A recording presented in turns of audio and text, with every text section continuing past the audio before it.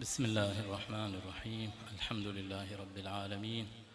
والصلاة والسلام على أشرف الخلق والمرسلين. محمد وأهل بيته الطيبين الطاهرين المعصومين المنتجبين.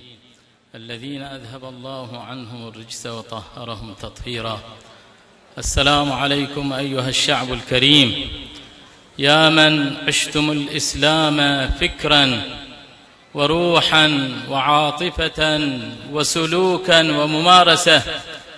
يا من عشتم العزة والكرامة يا من عشتم العزة والكرامة دما ثائرا في عروقكم. يا من قدمتم الدماء الطاهرة يا من تحملتم المعاناة. وتحملتم أصناف العذاب من أجل دينكم وعزتكم وكرامتكم السلام عليكم جميعا ورحمة الله وبركاته. قال تعالى واستقم كما أمرت ومن تاب معك المجلس الإسلامي العلمائي حقيقة دينية لا يمكن أن تطفئها السياسة الفاسدة. مثل القرار الجائر الذي صدر من المحكمة الكبرى الإدارية تجاه المجلس الإسلامي العلمائي بحله ومصادرة ممتلكاته مثل جريمة كبيرة ومثل انتهاكا كبيرا للحرية الدينية ولحرية التعبير عن الرأي لأن المجلس الإسلامي العلمائي وباختصار كان يمارس دورا دينيا وكان يما يرعى الشأن الديني في هذا البلد. وكان يستعمل وكانت الوسيلة الوحيدة لتنفيذ برامجه ولأداء دوره هي الكلمة الصادقة. فأنتم بقراركم هذا تنتهكون الحرية الدينية وتصادرون الكلمة الصادقة. ثم إن هذا القرار يمثل يمثل اضطهادا طائفيا لأن المجلس الإسلامي العلمائي يمثل الهيئة الأكبر لهذه الطائفة الكريمة. والمجلس يمثل خصوصية لهذه الطائفة ومن حقها أن تمارس وأن تنظم وضعها الديني وأن ترعى شأنها الديني. ثم إن هذا القرار يأتي كحلقة في سلسلة القمع المستمر والانتهاكات الحقوقية المستمرة لهذا الشعب الكريم.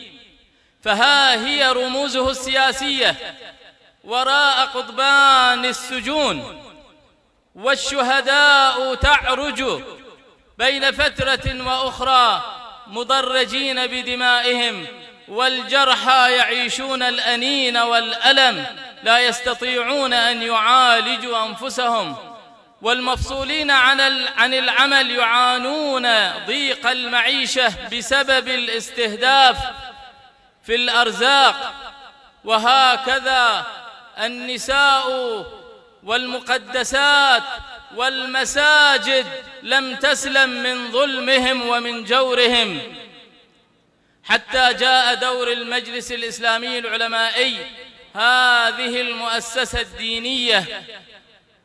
فهذا القرار يأتي في ضمن هذه السلسلة المستمرة والتي يراد من خلالها أن يركع هذا الشعب وأن يلزم وأن يقهر هذا الشعب ليتراجع عن حقوقه. وكأنها رسالة واضحة لهذا الشعب بأن لهذا الشعب ولهذه الطائفة وللأحرار من هذا الشعب بأنه لا محل لكم في هذا البلد إلا أن تكونون عبيدا. ولكن نسوا أو تناسوا أن هذا الشعب الذي تربى على الإسلام وارتشف روح الشهادة وروح الغيرة والعزة والكرامة من خط علي وآل علي من خط الحسين ومن كربلاء الشهادة. يعلمون أن هذا الشعب لا يمكن أن يركع ولا يمكن أن يكون عبدا ويأبى إلا أن يكون حرا. وها أنتم تسمعونه ليل نهار ينادي بشعاره الخالد هيهات منا الذلة. هيهات منا الذلة. هيهات منا الذلة. وتسمعونه يكرر دائما ألا تنازل ولا تراجع ولن نركع إلا لله. لن نركع إلا لله. لن نركع إلا لله. فهم في وهم عظيم أن يستعبدوا هذا الشعب. فلقد انتهى زمن الاستعباد وانتهى زمن الاستبداد والأمة قد اتخذت قرارا وقدمت لأجل هذا القرار القرابين وتحملت المعاناة والآلام. أن تعيش إسلامها أن تعيش عزيزة كريمة في بلدها. ثم ماذا يريدون من هذا القرار؟ هل يظنون أنهم بهذا القرار وبهذا الحكم السياسي بغطاء قضائي؟ هل يريدون أن يوقفوا الحراك الديني في هذا البلد؟ هيهات وكما قال سماحة آية الله الشيخ عيسى أحمد قاسم إن هذا الوهم ليضحك الثكلى. يظنون أنهم بإغلاق المجلس العلمائي يستطيعون أن يوقفون العمل الديني والتبليغ الرسالي والحضور العلمائي في صفوف الأمة. كلا وحاشا.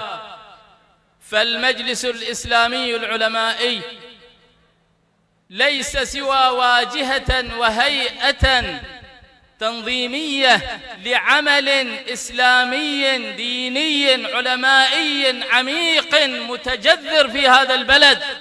وإن, وإن قراركم هذا لا يسوى الحبر الذي كتب به ولن يتعدى أنكم تغلقون مبنى بقهركم وبسلطانكم ولن تستطيعوا أن توقفوا حراك العلماء لأن هذا الحراك اليوم وفي الماضي وفي المستقبل يقوم على يقوم على أيد مخلصة وراءه ثلة من العلماء الرساليين المضحين المتفانين في خدمة الدين. ثم أنها أن الخط العلمائي يحتضنه شعب كريم أبي. لا يمكن أن يتخلى عنه فكيدوا كيدكم ولن تستطيعوا أن توقفوا مسيرة العطاء العلمائي أبدا. وأخيرا وأخيرا أقول أن الجرم الوحيد الذي يحاكم عليه المجلس الإسلامي العلمائي هو أنه وقف بجنب مطالب شعبه العادلة. وهذا الذي قدم بعنوان أنه يتدخل في السياسة بغطاء ديني. ما هي الممارسات السياسية التي يقوم بها المجلس؟ سوى إبداء الرأي والكلمة الصالحة المصلحة. أو هل هذا محظور على العلماء؟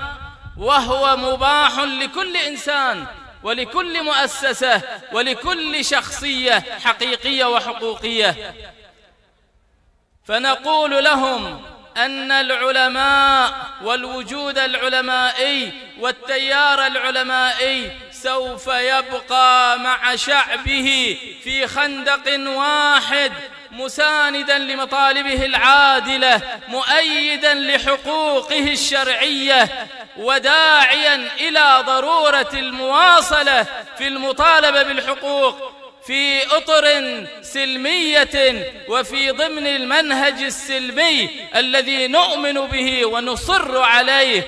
وكنا واختصارا وكنا نستمع دائما من شعبنا الكريم معكم معكم يا علماء. وأنا أقول لهم اليوم معكم معكم أيها الشعب الكريم في مطالبكم العادلة وحقوقكم المشروعة وإلى نصر مؤزر كريم في ظلال الإسلام يحقق العزة والكرامة لهذا الشعب.